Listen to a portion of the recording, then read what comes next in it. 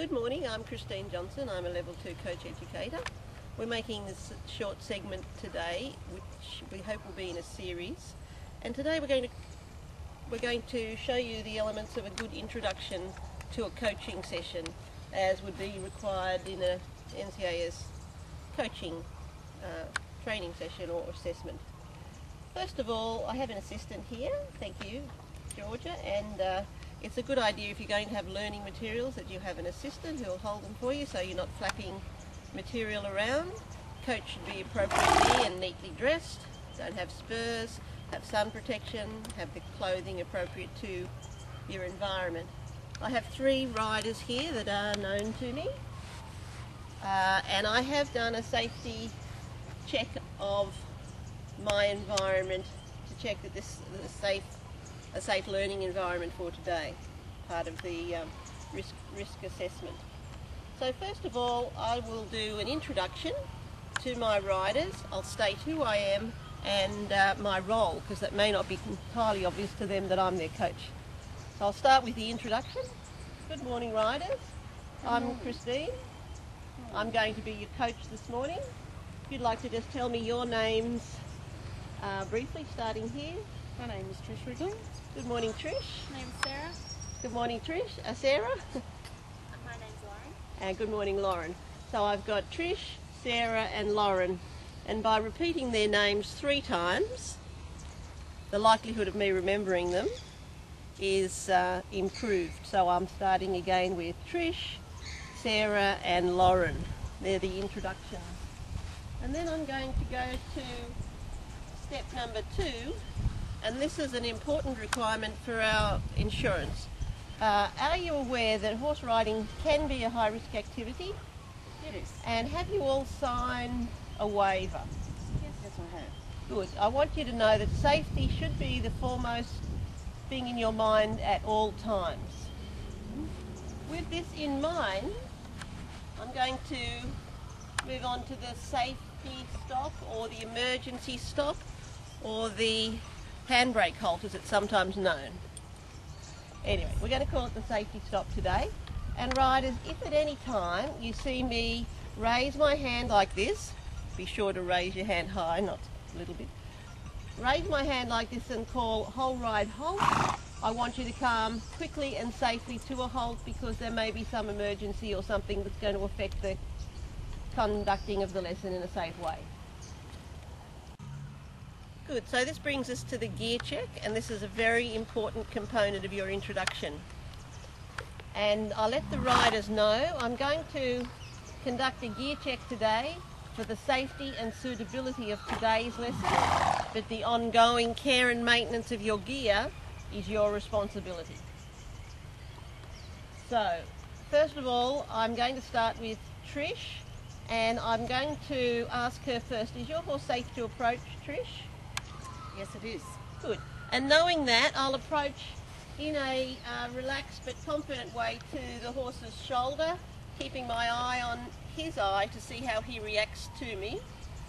I want to show you first, without interacting with Trish, how I would methodically go through the gear check. So if I start with the horse's brow band, I want to make sure it's sitting in the foal. I check the buckles of the cheek strap, the cavesson, the throat lash, two fingers under the cavesson, not too tight with the cavesson. I check the bit is fitting comfortably. There's a couple of little creases at the corners of his lips and it's not too small or too big or low in his mouth. Then I move my way methodically down the reins, checking the fold, the stitching, the stitching. When I get to here with the rings, it's imperative that they have stoppers on them. I want the rings to at least reach to the crest so that the rings or the running martingale doesn't impede that straight line elbow wrist bit for the rider's contact to the horse. Checking the breastplate that it's fitted appropriately, not too loose through here. It's fitting on his shoulders nicely. And then I get to this section and I have to decide will I do the rider or will I do the saddle. So in this case I'm going to do the rider first And I start with the top of the rider. Is that a safety approved helmet, Trish? Yes, it is. So I presume by that response it's a 3838 or an approved equivalent. Correct. The chin strap, can you move your head like that and just show me that the chin strap can't be pulled on over your chin? Well, not too bad. She's got sun protection, she's got gloves, she's neatly attired, no dangly earrings or jewellery. When I get down to her jodhpurs, they're good. She's got leggings, smooth sole, heel boots, no spurs. If she did have spurs, I would check that they were adjusted in the correct way. I'm checking the stirrup that she can fit a finger either side so that if she lifts her foot up the, the stirrup doesn't isn't too small or too big. That's that now I've done the rider so I'm satisfied with that. I'm going to now go to the saddle. I can see that the saddle cloth fits either side with plenty. She's got some padding on here. I'm checking the clearance in the gullet two fingers through underneath that way and four that way so it sits on the horse. The saddle cloth's pulled up into the gullet so there's clearance, it's not pinching on his wither. Now I need to check the girth points and the stirrup bar. And I'm going to ask Trish to put her leg forward of the saddle and clear, keep the horse's head straight. Put this leg up there. I'm checking if there was a safety catch on the stirrup bar that it's down. I'm checking the whole of the stirrup isn't torn and the stitching isn't torn. Then I can check the girth points. They're not torn. The tension, always be careful checking the tension of the girth that you don't uh, find the horse is a bit girthy and nips at you. The buckle guard's in place and then I can ask her to put her foot back down. I'm happy with the position of that. The horse has two boots on and they're, they're correctly fitted. So overall that gives me a good picture of this rider on this side and I would repeat it methodically the same way on the other side. You don't need to talk to your rider about the gear checking necessarily to the degree I did. You would use that opportunity to say, for instance, Trish, uh, have you ridden this horse before? Yes, I have. And have you ridden him in a group? Yes, I have. And is he uh, happy to go in any position in the group? Yes. Doesn't get too fast or slow? And then I'd ask her in a, a more than a little bit closer uh, confidential way, is there anything going to affect your learning today? Because she might like to say something that's not public to the whole group. So Trisha's shared with me as the coach that she's a little hard of hearing in one ear. And so Trish, if at any time you can't hear me, just let me know.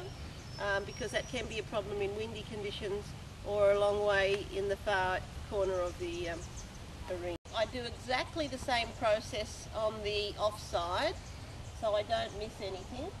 Um, with a whip I would check that it's got the appropriate flapper, it's not too long and I don't want to see loops around the rider's wrist because that can be a danger. And be careful to do everything on one side that you do on the other side. And then during the course of the videoing I've done the same process of, of the introduction, I've done the same process with the other riders and I've discovered, for instance, that Sarah has never ridden this horse before, but the horse is known to me, and Lauren is riding a chestnut thoroughbred mare who can get a little bit hot. So I have to consider where I'll place her in the ride. Being a mare, I'd prefer to have her at the tail, uh, and I'll see how that goes throughout the lesson. But that would be how I would conduct the introduction to any training session and obviously the more proficient you are with these steps, thank you, Helper, the, uh, the quicker you come to be able to do that in a, in a quick and seamless way. Good, so thank you riders. And now we're going to proceed with our lesson.